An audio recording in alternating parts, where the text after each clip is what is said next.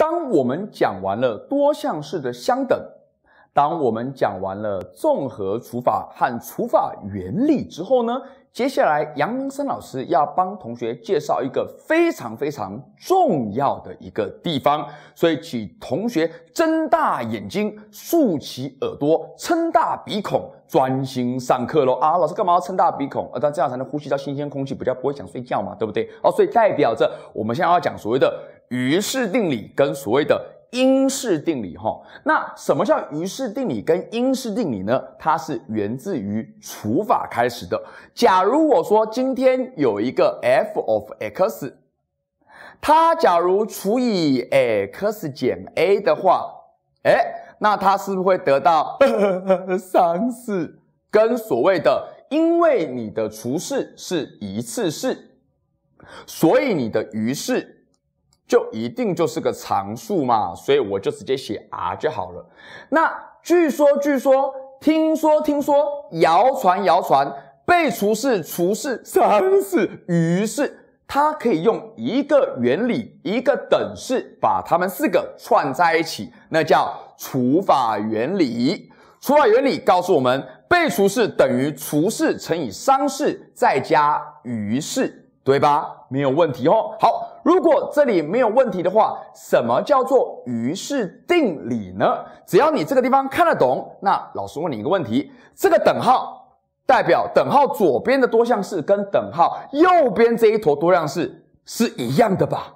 既然是一样的话，那写出除法原理的好处在于建立等式。有了等式之后，我就可以两边代值了，对不对？好。当我两边代值，我要怎么代呢？注意听喽，我要怎么代？来，我要证明我代 a 进去得到的那个余式，那个 r 就是函数值 r。老师什么意思啊？意思也就是说，来，我们说 a 被除式等于除式 x 减 a 乘以商式。再加上余式 r，对吧？那我们说，哎，它可以两边代值啊。那两边代值，我 x 要代多少呢？老师告诉你哦，你看一下，在这一个等号左两边当中，你有没有觉得就是这个商式？我不知道他，他是谜一样的人物。我不知道他几次，也不知道长什么样子，所以我才写 Q 嘛，对不对？所以想尽办法把三四给干掉，不要那么常办三四嘛。那如果我两边代值的时候，我看到 Q 看到三四就不喜欢，那我就会想要把三四干掉。怎么干？用什么干？当然是用代值的方法干。所以切记切记，我。哎，x，我现在用 a 在等号的左边跟右边两边代入，因为你是两个一样的多项式，所以表示我 x 用任何数字代，两边永远会相等，对不对？当我左边带 a 的时候，哎，x 的部分是不是带 a 进去啊？对的，所以叫 f of a。而右边的部分 x 也带 a 进去啊，所以举凡你看到的所有的 x，通通用 a 带，所以带 a 进去，带 a 进去，结果你发现了 a 减 a 发生什么事情？嘣，这一整坨不见了，上式没有了，因为我带 a 进去，所以表示我等号的右手边只剩下谁？哎呦，不错哦。只剩下 r 了耶，所以言下之意，意下之言表示，我们刚刚讲 f，它除以 x 减 a 的余式等于 r，就代表着这个多项式它用 a 代进去的函数值等于 r，是一模模一样样的道理。举个例子来说，如果有一个多项式 f。它除以 x 减二的余式叫做三，那你会想到什么？那我就会想到这个多项式，它 x 用二代进去的函数值等于三，这是同一件事情哦。这个东西我们称呼它叫做余式定理。那杨明生老师要告诉你，有一个东西叫因式定理。那我跟你讲，因式定理是什么？哈，因式定理，来吧，它根本就是个屁啊！老师，为什么是个屁呀？哎哎哎哎，你如果余式定理懂，那因式定理一定也懂嘛？为什么？据说被除式等于除式。乘以商式，商式加上余式。如果今天你除以 x 减 a，啊，刚好整除呢，那不就代表于是这里就写一个球球零送给他吗？对不对？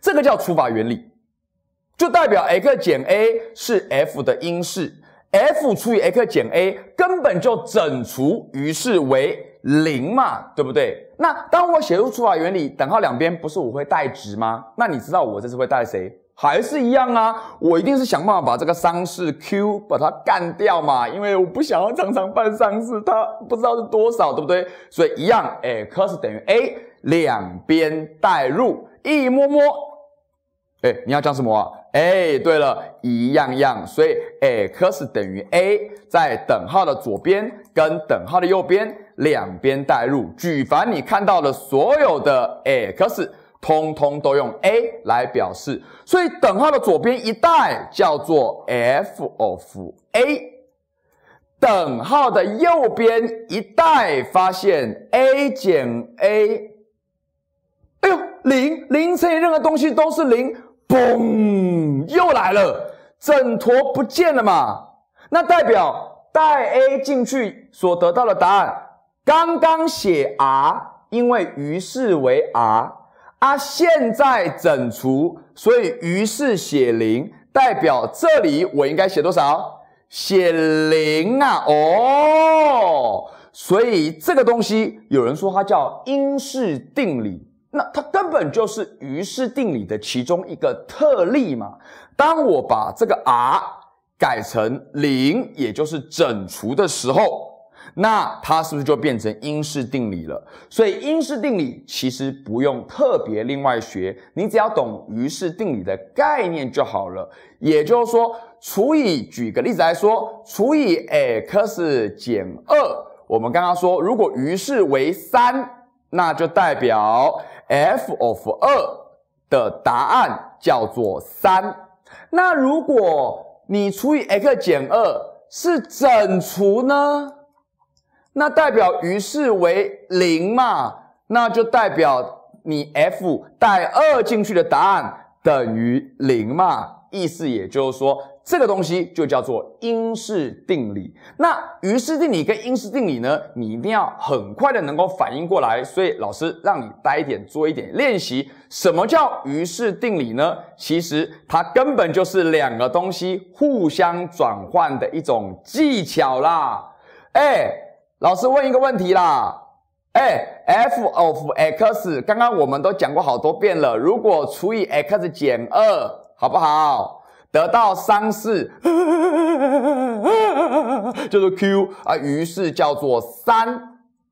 那你会想到什么？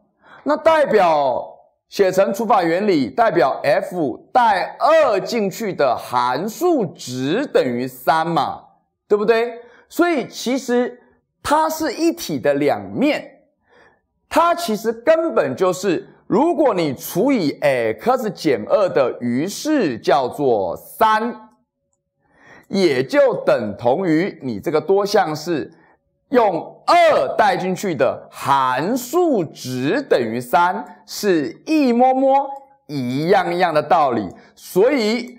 于是跟函数值它是可以互相转换哦，这个技巧就叫余式定理。当你看到带二进去等于三，函数值等于三，转成余式就是除以 x 减二的余式叫做三。当你看到除以 x 减二有一个多样式除以 x 减二余式叫做三，那你也可以把它转换成函数值。等于带二进去叫做三，所以我们常常在讲啊，叫做函数值是用代的，于是是用除的啊，可以代，也可以除，用除法算余是，跟用代值算函数值。函数值跟余式可以代也可以除，余式跟函数值互相转换利用的这种技巧，我们就称呼它叫做余式定理。当余式为零整除的时候，它是余式定理的一个特例，我们说它叫因式定理。所以你要懂得习惯互相转换哦。哎，老师问你哦，可以带也可以除，可以带也可以除，如果它可以除。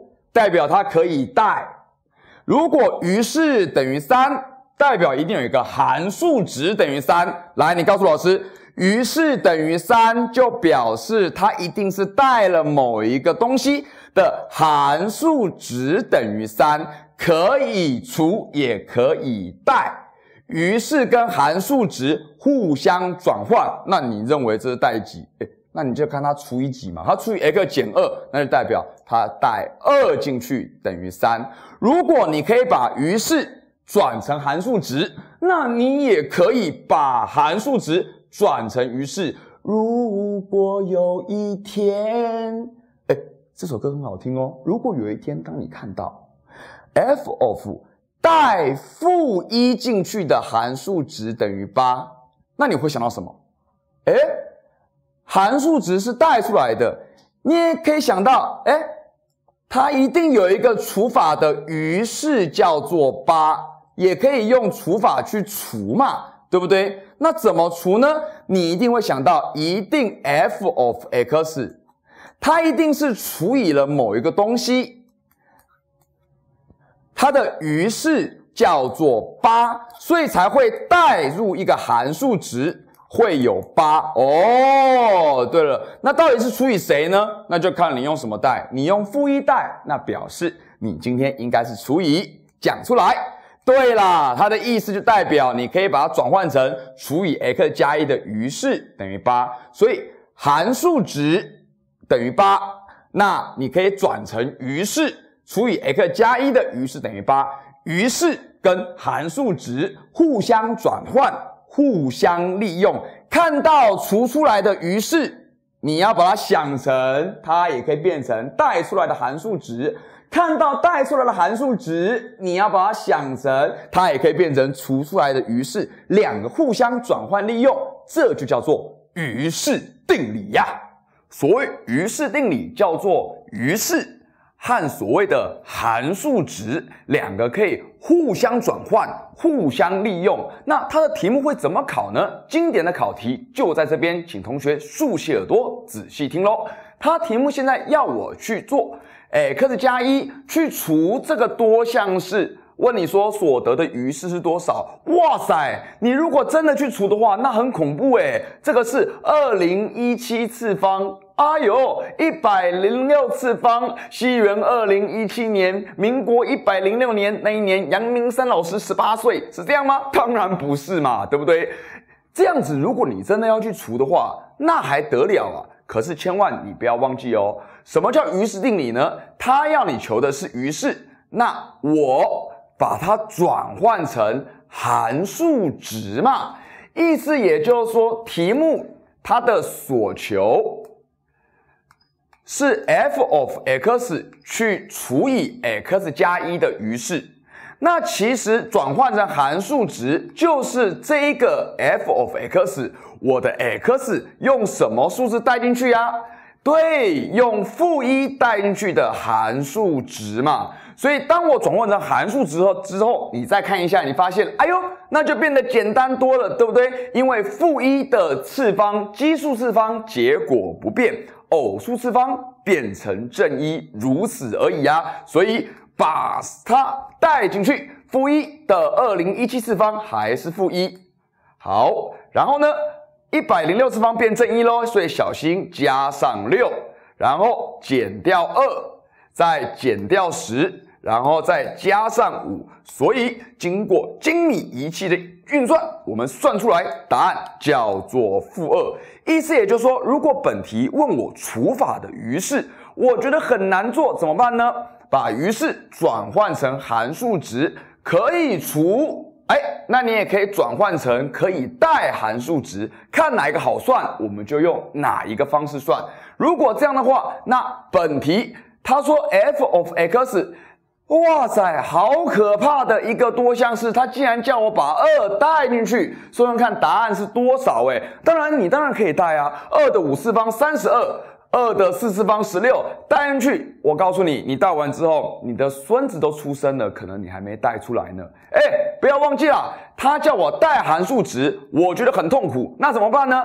把函数值转换成余式嘛，意思也就是说。本题的所求，哈，所求，你可以把它想成是代函数值，但是也可以把它想成是这个多项式 f of x 拿去除以，来，他叫我用二代进去，那等同于叫我算去除以 x 减二的。于是是一样的道理嘛，这叫做于是定理哦。除以 x 减二，那我才刚刚讲过综合除法，我们来看一下综合除法，直接用综合除法去除除看哦。所以来综合除法，直接预备喽。好，亲爱的孩子，来领导系数三百五十七。降幂排列缺项记得要补零哦。好，所以这里负的六百九十九。好，再来负的三十五，正九，正三，还有十五。来来来，你的除式是谁呢？叫做 x 减二，所以令除式为零。那个时候的 x 等于二。我们练习一下，来。领导系数搬下来啊，斜的方向乘起来，直的方向加起来，所以三五七乘以二，七百一十四。直的方向加总起来叫十五，斜的方向乘起来叫三十，直的方向加起来叫负五，斜的方向乘起来叫负十，直的方向加起来哦叫负一。所以继续做运算，来吧。一二得，哎，对了，叫做二，所以代表我们算出来，它除出来的结果除以 x 减二的余式啊，叫做十七。哎，你除以 x 减二的余式叫做十七，可以除也可以代，余式。可以转成函数值，除出来的余式可以把它转换成代出来的函数值，所以表示你除以 x 减二的余式叫做十七，就代表你这个 f of x 多项式，你用二代进去的函数值等于十七嘛，所以道理是一模模一样样的，非常重要的好题目，杨明山老师教给你喽。于是定理里面。在段考当中，还有一种非常非常精彩的好题目在哪里？在这里，他要我去算七的七次方减掉五十乘以七的五次方加六乘以七的十次方加四乘以七的十次方。哎，光念题目嘴巴都快要打结了。哎，老师问哦，你有没有发现他要我算的这个算式哈，很多很多地方出现了一个数字叫做七，对不对？那干脆这个样子，我们把这个七令成 x。把整个式子变成 x 的多项式，所以意思也就是说，来，我们令 x 等于七，那整个式子不是变成一个 x 的多项式吗？那本题啊，就好像这个多项式，它叫我 x 用七。带进去算函数值是一样道理，所以所求叫做 f of 七，而你可千万不要 f of 七就直接又来了七的七次方减五十乘以七的五次方加上六乘以七的四次方，那你不就把题目又抄一遍了，对不对？千万别忘了所谓的函数值，如果你觉得很难算，不要忘记它可以去做转换，怎么转换呢？函数值转换成余式，余式。转换成函数值，函数值如果很难算，那怎么办呢？把它想成它一定是某一个除法的余式，除以谁呢？哦，带七进去就等于除以 x 减七的余式嘛。那余式应该就好算多了吧？我们恭请哪一个同学呢？我们恭请综合除法同学出来跟我们大家见面。综合除法说他答应了，来综合除法。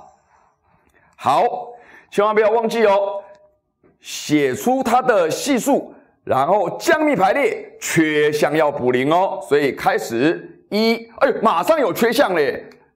六次方叫做零，来再来，降幂排列五次方负五十，再来六，好四，好再来二次方系数，一次方的系数。我们的常数项，因为你是除以 x 减七要去算余式，所以令除式为零。那个时候的 x 等于七呀，所以你想一下，待会这个地方就会出现你的宝贝答案了。我们赶快算一下喽，来。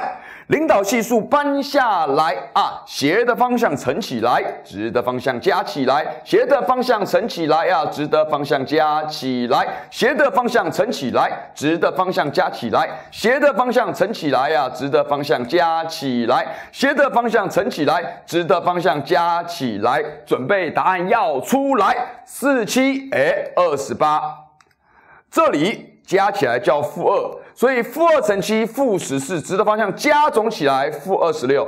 所以言下之意，意下之言呐，表示它除以 x 减七的余式叫做负二十六。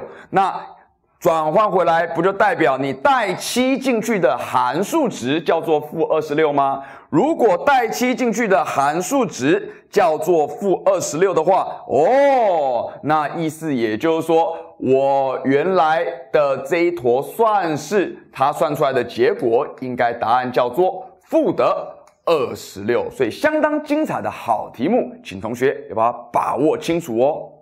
他现在跟我说 f of x 这一个多项式，然后他这样问，他说 g of x 等于 f of f of x 除以 x 减二的余式是什么？对不对？亲爱的孩子，很多同学被什么东西吓到？被这个东西吓到了，吓死人了，对不对？那你不要管它嘛。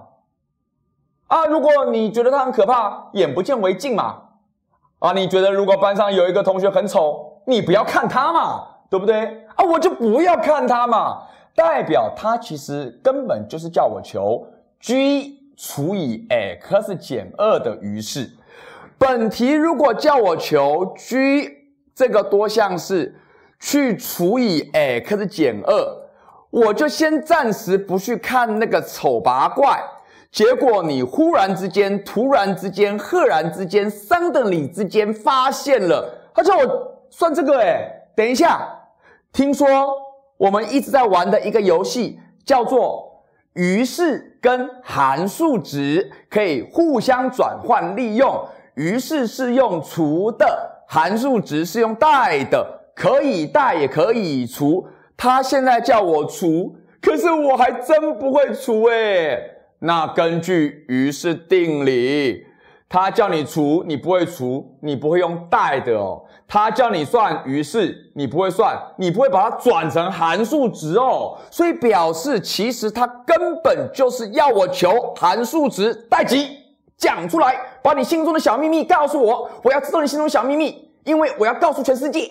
哦，原来还叫我求 g of 二啊！哦，原来是这个样子哦。那只要这个地方你能够写得出来，第一关就破解了。再来下一个部分，可是他没有给我 g of x，他给我的是 f 这个多项式，诶，所以我要想办法把 g 这个多项式。跟 f 扯上关系，他现在有没有帮我扯上关系呢？他说：“我跟你讲哦，g 跟 f 的关系长成这副德性哦。”老师，为什么你这边没写啊？道理很简单呐，你告诉老师，多项式的相等，好久好久以前了，老师说过，多项式的相等，等号左边跟等号右边如果相等。什么叫多项式的相等？老师，那就是两个相等呢？哪有那么简单？一个带，一个比，对不对？你可以两边带值，不管 x 两边带多少，算出来结果都相等嘛。哎呦，他今天叫你带什么？他今天叫你带二，哎，那代表左边带二，那我右边的 x 的部分是不是也带二进去呀？哦，原来题目前后是有相关联的哦。好，所以。他要我算 g，我不会，我就把它转成 f，因为 f 有给我嘛。哦，所以本题首先第一个帮杨梅山老师一个忙，什么忙呢？来，请你给我一只手，give me a hand。来，这个东西等于多少？如果这个你不会的话，那我先跟你讲哦，嘴巴张开来，杨梅山老师哈要朝你丢大便，往你的嘴巴丢进去。哎，你这个都不会，拜托，哎哎。把二丢进去，所以八减八，负二加五，那这个就是三嘛，对不对？所以本题它其实就在求这个东西。那这个东西等于多少呢？那管它的，反正它已经有这个多项式了，f，那我就直接把三再把它往里面丢进去呀。所以你会算出来本题的答案。来，带三进去，二十七减掉三三的九九二十八，二七减十八多少？哎，多少？哎，对了，九九减三六六加五，所以我们本题的答案叫做 one one，叫做十一。所以这个题目大学学测考题，首先第一关你要先想的是什么呢？叫做哎，对了，要你求余式，你也可以把它想成函数值，把余式转换成函数值，这是第一个观念。第二个观念就是哎。多项式两边如果相等，代表什么意思呢？什么叫两个多项式相等？叫做两边代入任何数字算出来的结果都相等嘛？那你都已经说要带二了，我就给你带二进去，对不对？然后经过噼啪啪啪啪啪一阵激烈猛烈的打斗之后，本题的答案叫做十一。恭喜老爷，贺喜夫人，老爷怀孕了吗？不是，所以我们用很清楚的观念把答案。算出来了，所以同学切记这两个重要的观念。本题大学学测的考题，杨明善老师轻轻松松解决它。哈哈哈哈！最重要的考题终于出现了，这个题目端考百分之一百一定考啊！老师，你有讲一定考了啊？要是没有考怎么办呢？要是没有考很简单嘛，杨明善老师也讲过了嘛。考完以后没有关系，杨明生老师脱光衣服躺在讲台上，让你任选器官，用力的给他踩三下，踩三下，踩三下，对不对？你又会选同一个器官，踩过了你还是不罢休，继续踩，对不对？我告诉你，这题几乎每一间学校都是一定考的。他说有一个多项式，次数不低于二次，而且除以 x 减二的余式叫做一，哎。除以二 x 减一的余式叫负二，对不对？老师跟你讲哦，你一定一定要有这样的敏锐度。什么叫做这样的敏锐度？就是除以一个多项式的余式，跟它所带出来的函数值，余式函数值，函数值余式，余式函数值互相转换利用。所以意思也就是说。如果你除以 x 减二的余式叫做一，转换成函数值，就代表它在告诉你，我带二进去的函数值等于一啦。你一定一定要有这样的观念哦。同样的道理，如果你除以二 x 减一的余式叫负二。你有一个余式叫负二，就代表你一定有一个函数值叫做负二啦。那到底是带什么函数值呢？就看你除以几喽，对不对？你这里哦，二 x 减一就代表你一定是带二分之一的函数值叫做负二啦。所以这两个是题目的已知条件哦。哦，然后这题目就说啦，诶那如果我把这两个乘起来，再拿去除 f，那余式是多少？说真的，我也不会耶。可是你还记不记得老师讲过，有空没事多写除法原理，有益身体健康，万事如意。你有没有发现课程是前后呼应的？所以你要注意听。专心听老师上课哦，不要一直光看我的头发哦，就以为数学会进步哦，没有这么简单的事情哦。所以来，有空没事多写除法原理，有益身体健康，万事如意。所以表示，哎，他他叫我要算哦，不会嘛，不会，不会就不会，有什么了不起？这题我不会。不会有什么了不起啊！从小到大，你有多少题目不会？你还不都活了过来，对不对？所以那就先写个除法原理好了。所以 by 除法原理，如果不想要写 by 除法原理，也可以写 according to 除法原理啦，随你的便，随便呐。来，有空没事多写除法原理，有益身体健康，万事如意。所以来被除式 f of x 等于除式乘以商式加余式。除式是谁？那他就他叫他他叫你写谁，你就写谁嘛。除式乘以谁？丧事，丧事，丧事啊！我说了，念数学要干嘛？要投入感情。丧事啊！我待会在代职的时候，我就是想把你干掉啊！我就是想把你干掉啊！丧事啊！来，再来，再加上本题问的是谁？本题就是问我。余式是多少？那老师要问你一个问题哦，在除法里头，余是有条件限制吧？